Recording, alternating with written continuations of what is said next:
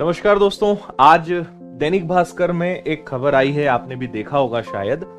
मध्य प्रदेश में 15 लाख विद्यार्थी जो हैं, केवल भर्तियों के और रिज़ल्ट के इंतज़ार में हैं। मतलब मुझे कहीं ना कहीं लगा था कि चलो नई सरकार बनी है तो कहीं ना कहीं सरकारी नौकरी शब्द या किसी ना किसी प्रकार का ज़िक्र होगा, लेकिन अभी तक किसी भी प्रकार की कोई बातचीत नहीं की गई है।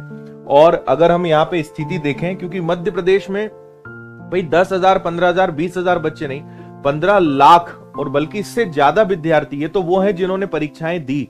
तैयारी करने वाले विद्यार्थियों को भी अगर जोड़ लें तो संख्या बहुत बड़ी हो सकती है, डबल हो सकती है। इतने विद्यार्थी दो चीज़ों का इंतज़ार कर रहे हैं, पहला वैकेंसी और दूसरा पेंडिंग रिजल्ट्स पिछले छह महीने से कोई रिज़ल्ट जारी नहीं किया गया है, ये सब आज लिखा हुआ है, यहाँ पर आप पढ़ सकते हैं, और आप सबको भी बहुत अच्छे से पता है। छह परीक्षाओं के तो अभी रिज़ल्ट आना बचे हैं। वन रक्षक है कांस्टेबल है ग्रुप फाइव ग्रुप फोर सब ग्रुप वन है ना? पटवारी का रिज़ल्ट जो जुलाई में आया, फिर उसके बाद उस पर कई दिक्कतें आई। उसके बाद 31 अगस्त को उसकी रिपोर्ट आनी थी और उसके बाद तय होना था कि आगे क्या होगा, लेकिन उसके बाद सारी चीज़ें रुक गई। उसके बाद कुछ भी अभी तक प्रोसेस नहीं हुई है।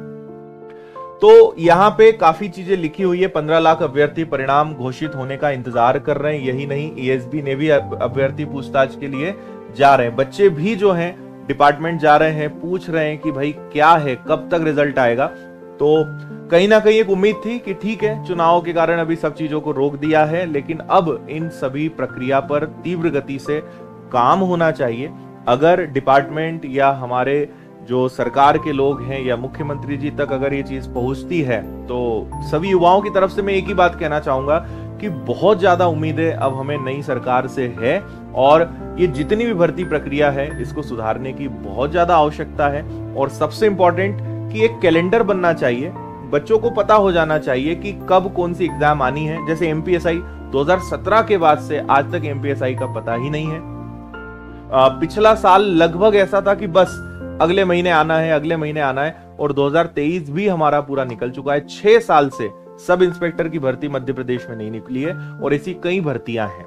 तो यही रिक्वेस्ट मेरा रहेगा कि प्रक्रिया अब सुधर जाना चाहिए। नई सरकार से बहुत ज़्यादा उम्मीद है, मुझे लगता है कि युवाओं को, हम सबको है कि अब ये सारी चीज़ें सुधरेंगी, और इस पे ज़रूर मुख्यमंत्री जी का और सभी हमारे जो लोग हैं, सरकार के लोग हैं, उनका ध्यान इस पे अब ज़रूर जाना चाहिए, क्योंकि नहीं कुछ तो 20 से 25 लाख बच्चे ऐसे हैं और 20 से 25 लाख बच्चे और उनके परिवार इस चीज़ से डायरेक्टली जुड़े हुए हैं, जो इस चीज़ के लंबे समय से इसके इंतज़ार में बैठे हुए हैं, है ना?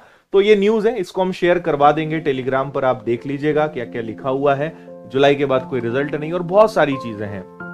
तो लाखों विद्यार्थी इंतज़ार कर रहे हैं वैकेंसीज का रिजल्ट्स का, इस और ज़रूर कुछ ना कुछ अब कदम उठाने चाहिए। Thank you